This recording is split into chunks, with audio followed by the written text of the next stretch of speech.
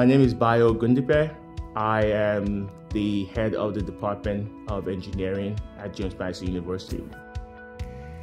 I've worked with VentureWell on a number of projects. One of those is the infusing sustainability into the curriculum.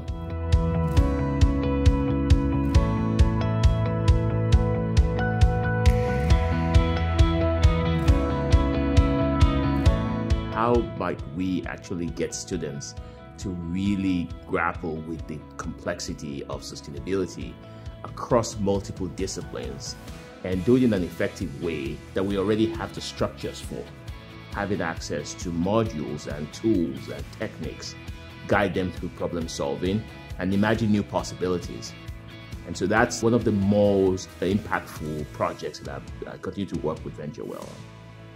Incorporating inclusive innovation and climate change and sustainability issues in engineering one of the more challenging aspects of it is that there are a number of approaches that would require non technical solutions, challenging the traditional curriculum. The way to do that is to bring other people to the table. Diverse opinions is absolutely necessary.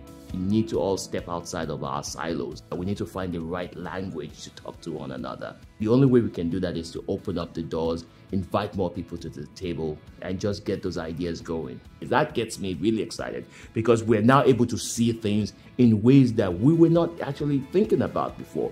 VentureWell has been and continues to be a significant resource there's an element of what VentureWell does which really catalyzes this human ingenuity, gets people pumped up about things and understanding that they are actually working on things that matter.